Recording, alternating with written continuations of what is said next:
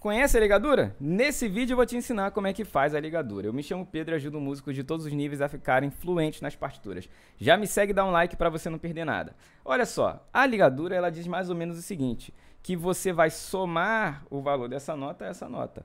Quer dizer, você vai tocar essa nota e ela vai continuar soando por cima dessa aqui, usando o tempo dessa aqui. Vamos ver de uma outra forma que vai ficar ainda mais claro para você entender? Olha aqui como é que está escrito você vai fazer tá, tá, tá, tá. Quando fizer esse tá, você não ataca um tá igual nas outras notas. Você vai manter o som até chegar nessa próxima nota aqui. Vamos fazer na prática? Um, dois, três, quatro. Tá, tá, tá, tá, tá, tá, tá. De novo, hein? Um, dois, três, quatro. Tá, tá, tá, tá, tá, tá, tá. E não precisa fazer ah, ah, ah, tá? Isso não é muito legal, não.